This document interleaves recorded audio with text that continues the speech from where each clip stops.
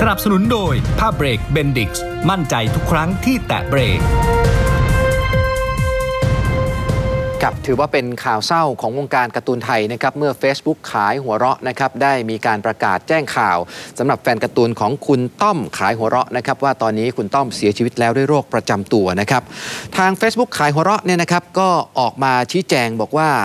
ทางเราเนี่ยนะครับขอแสดงความเสียใจต่อครอบครัวของพี่ต้อม ซึ่งตอนนี้จากพวกเราไปอย่างสงบด้วยโรคประจำตัว ส่วนรายละเอียดทางพิธีการต่างๆ ก็จะแจ้งให้ทราบลำดับถัดไปนะครับครับ คุณต้อมขายหัวเราะหรือว่าคุณสุพลเมนาคมนะครับเป็นนักเขียนการ์ตูนไทยสังนักพิมพ์บรรลือสารที่มีลายเส้น แล้วก็มีสีสันงดงามคนหนึ่งของเมืองไทย เป็นผู้วาดปกนิตยสารมหาสนุกนะครับแล้วก็จะเป็นเจ้าของตัวการ์ตูนที่มีชื่อเสียงอย่างไก่ย่างวันลบนะครับซึ่งต่อมาบรรลือสารนะครับก็มอบหมายให้กับทางคุณวิรัตยินยงพัฒนากิจนำเอาไก่ย่างวันลบเนี่ยไปทำเป็นแอนิเมชันเรื่อง Willy the Chicken นะครับโดยเอาตัวละครวิลลี่เนี่ยก็มาจากไก่ย่างวัลลภนะครับมาเขียนการ์ตูนสั้นชื่อ Willy the Chicken ฮีโร่พันธุ์กระต๊ากด้วยนะครับนอกจากไก่ย่างวัลลภแล้วนะครับทางคุณต้อมเองเนี่ยก็ยังจะมี character อีกหลาย character ที่หลายคนจำได้นะครับอย่างเช่นแมวตุ้มเม้งลูกหมาเจ้านุ่น คุณหมอวิทยวัฒน์หรือว่าเดอะแก๊งจอมป่วนนะครับซึ่งก็ถูกตีพิมพ์ในนิตยสารขายหัวเราะ มหาสนุกหนูจ๋า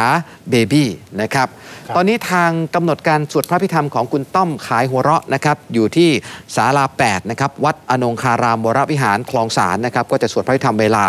อ่า19 นาฬิกานะครับวันที่ 11 ถึง 25 มกราคม แล้วก็จะมีพิธีชาปนกิจวันเสาร์ที่27มกราคมครับครับก็ขอแสดงความเสียใจกับ ครอบครัวของคุณพี่ต้อมด้วยนะฮะ ก็เป็นการสูญเสียครั้งใหญ่เลยครั้งสำคัญเลยนะครับ เพราะว่าผมเนี่ยเป็นแฟนๆมานานมากนะครับครับ ไปดูเรื่องราวของเด็กวัยเพียงแค่ 11 ขวบตอนนั้นเองเขาบอกว่ามีคนเข้าไปแชร์ไปกดไลค์กันเยอะมากนะครับในความสามารถนะครับ นี่เด็กอายุ 11 ขวบนะฮะมีการวาดภาพเขาบอกลายเส้นเนี่ยโอ้ไม่ธรรมดา แล้วคิดดูเลยกันคือ ถ้ามีอุปกรณ์ขนาดนี้นะ แสดงว่าเด็กนี่ตั้งใจทำมากคุณปิยเกียรติฮะครับที่เห็นจะไว้นี่ขนาดริมถนนนะครับ นี่เป็นน้องต้นกล้านะครับเด็กชายเศรษฐพงษ์ช่ำชื่น อายุ 11 ขวบ นักเรียนชั้นป .5 โรงเรียนวัดสระแก้วอำเภอเมืองจังหวัดนครราชสีมา มีพรสวรรค์ด้านศิลปะวาดรูปลายเส้นแบบไทยสวยงามระดับมืออาชีพ เป็นความสามารถเกินอายุที่ใครเห็นและเห็นแล้วก็ต้องทึ่งครับเคยขายภาพวาดได้สูงถึง 7,000 บาทมาแล้ว น้องต้นกล้าบอกว่ามีการเฉลิมมีอาจารย์เฉลิมชัยโคสิทธิพิพัฒน์ศิลปินแห่งชาติเป็นไอดอล โตขึ้นมาก็อยากจะเป็นศิลปินแห่งชาติบ้าง และจะยึดอาชีพ วาดภาพหาเลี้ยงชีพด้วยนะครับ โอ้โหนี่สนับสนุนเลยนะครับครับ สำหรับน้องต้นกล้าแล้วก็เด็กๆที่รักดีนะครับ อย่างน้องคนนี้นะฮะ อ่าครับ ไปดูความเคลื่อนไหวนะครับของ คุณตะกะแตนชลดากันหน่อยคุณผู้ชมนะครับ หลังจากที่มีข่าวว่าทางคุณตะกะแตนเนี่ยไปจับได้ว่าสามีเนี่ยแอบไปมีเมียน้อยนะครับ ล่าสุดคุณตะกะแตนชลดาก็ปรากฏตัวครั้งแรกนะครับ หลังจากที่รักร้าวเนี่ยนะครับในงานของโตโยต้าที่กาญจนบุรี ขึ้นร้องเพลงโยนใจให้หมากิน โอ้โหนี่นะฮะเพลงเนี่ยเขาบอกว่าความหมายเนี่ยลึกซึ้งบาดลึก แล้วก็คุณตะกะแตนเนี่ยก็ร้องอย่างเต็มที่โยนใจให้หมากิน หลังจากนั้นผู้จัดการของคุณตะกะแตนเนี่ยก็โพสต์คลิปวิดีโอ บอกขอบคุณทุกกำลังใจ ถ้าใจดวงเดียว มันไม่มีค่าก็โยนให้หมา ขอบคุณทุกดวงใจทุกดวงที่ส่งมาให้พี่แตนคนเก่งของพวกเรา ตอนนี้เขายิ้มแล้ว เธอโอเค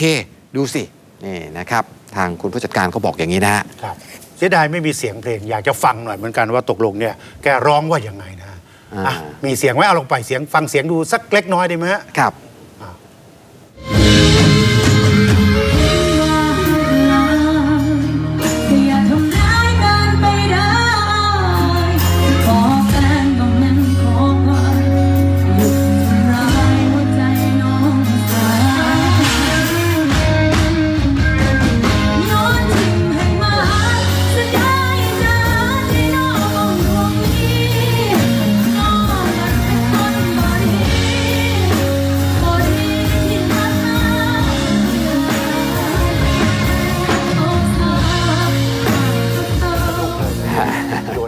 กินนะฮะ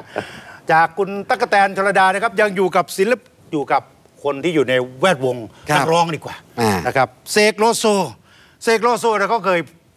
ตอนหลังเนี่ยแกก็ขยันนะ ในการที่จะสื่อสารกับบรรดาแฟนคลับของแกอย่างต่อเนื่องครับนับตั้งแต่แก โอ้โหเนี่ยไปยิงปงยิงปืนเนี่ยอ่าล่าสุดแกบอกว่าจะไปบวชนะฮะครับแต่ว่าถ้าจะไปบวชเนี่ยอาจจะต้องไปอินเดีย เพราะว่าถ้าบวชต่ำกว่า 15 วันเนี่ยนะครับก็แน่นอนที่สุดของอ่า มหาเถรสมาคมเนี่ยก็ก็มีวางกฎกติกาออกมาเนี่ยล่าสุดเดเสกโลโซโพสต์ข้อความผ่านทาง Facebook นะครับบอกว่าเนื่องจากเมื่อวาเมื่อวานนี้ฉันได้ประกาศลาบวชเนื่องจากคิวงานและอื่นๆ สงสัยต้องไปบวชที่อินเดียนะครับ ใครช่วยแนะนำทีนะจ๊ะนะจ๊ะนะครับอ้าวทั้งนี้ทั้งนั้นเนี่ยเสกโลโซก็บอกว่าเนื่องจากมหาเถรสมาคมเพิ่งมีความเห็นปรับเวลาบวชระยะสั้นเป็น 15 ถึง 30 วัน และให้ทุกวัดทั่วประเทศปฏิบัติตาม โดยให้เหตุผลว่าบวช 7 วัน ไม่เพียงพอต่อการศึกษาหลักธรรมของทางพระพุทธศาสนานะครับ ก็เลยทำให้ไม่สามารถที่จะบวชระยะสั้นได้ เสกโลโซเนี่ยคือตอนนี้มีทางเลือกสองทางครับหนึ่งบินไปบวชที่อินเดียอ้าวสองเลื่อนออกไป แล้วตัวเองเนี่ยก็มีคดีคงคดีความ เอ๊ะจะบินไปได้เหรอฮะก็ไม่คงปาออกไม่ได้มั้งสงสัยผมว่าตอนนี้อ่าสงสัยจะต้องเลื่อนเลื่อนออกไปอีกแล้วมั้งดูท่าครับทางนะฮะอืมเอาละเราปิดท้าย เราปิดท้ายด้วยเรื่องความสามารถครับ คือทหารเนี่ยโดยทั่วไปเนี่ยนะครับ ทหารโดยทั่วไปเนี่ยหลายต่อหลายคนบอกว่าโอ้อาจจะคือ ทหารเกณฑ์ในยุคปัจจุบันเนี่ยอืมหรือแม้แต่ยุคก่อนๆก็ตามที ก็ครัมับกจะถูกมองบอกว่าโอ้โหนี่เป็นคนที่ระดับการศึกษาน้อยฮะความรู้ความสามารถก็มีค่อนข้างจำกัดครับ แต่ว่าหลังจากที่มีเรื่องราวของอะไรนะ ของทหารเกณฑ์อะที่ไปครับผู้กองยอดรักอะโอ้ฮะผู้กองยอดรักครับก็เริ่มมีคนเนี่ยเชียร์นะให้กำลังใจในส่วนของทหารเกณฑ์เหมือนกันครับนี่เป็นทหารเกณฑ์เหมือนกันครับทหารเกณฑ์ผลัดใหม่6ทับ20นะครับทหารเกณฑ์คนนี้ เดี๋ยวไปดูครับลีลาการขับเสพลาไล่เสพลาเนี่ยนะก็โอ้โหมืออาชีพมียังอายเลยคุณพิยเกียรติไปไปติดตามฮะ เออ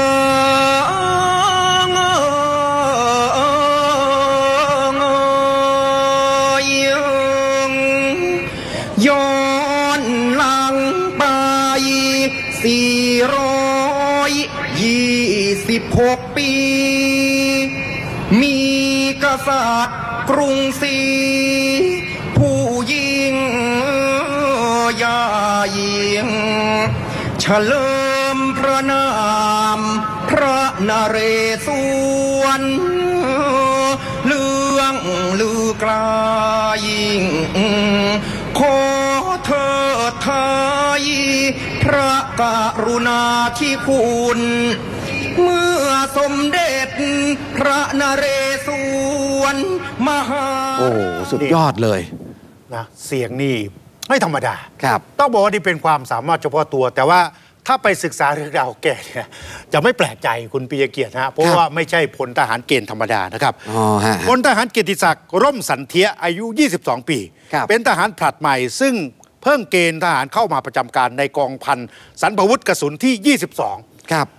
กองบัญชาการช่วยรบที่2นะครับเมื่อวันที่ 1พฤศจิกายน2560 ที่ผ่านมาพลตรีเผาโพเงิน ผู้บัญชาการกองบัญชาการช่วยรบที่2เนี่ยบอกว่าระหว่างที่กำลังพักจากการฝึกทหารอยู่ในหน่วย ได้ยินเสียงร้องและขับเสพลาอยู่ในกลุ่มทหารเกณฑ์นะครับด้วยลีลาการขับเสพาที่ไพเราะมากทำให้เพื่อนๆชื่นชม และขอให้ขับเสพาให้ฟังบ่อยๆ ครูฝึกได้ยินไปสอบถามนะครับบอกว่าไปเรียนขับเสพามาจากไหนฮะได้ยินแล้วคือคำตอบเลย บอกว่าสมัยเรียนมัธยมเนี่ยจบจากวิไลนาฏศิลป์นครราชสีมา แล้วไปต่อระดับปริญญาตรีที่สถาบันบัณฑิต พัฒนศิลป์ เมื่อจบการศึกษาปริญญาตรีแล้ว ได้สอบบรรจุเป็นข้าราชการของสำนัก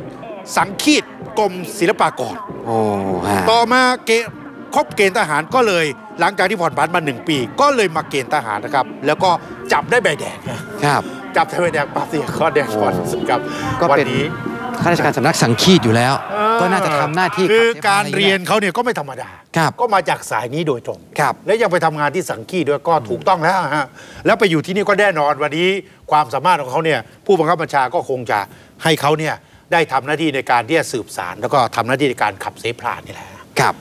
ครับเอาละครับเดี๋ยวเราพักกันอีกสักครู่หนึ่งนะครับช่วงหน้ายังมีอีกหลายข่าวให้น่าติดตามครับครับ